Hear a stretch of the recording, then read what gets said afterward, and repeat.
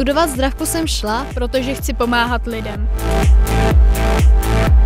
Když jsem šla na zdravku do Svitev, tak jsem o té škole moc nevěděla a bála jsem se, že bude moc těžká. Teď už vím, že se to dá zvládnout. Vždycky jsem chtěl být zdravotníkem. A myslím, že tohle je dobrá cesta.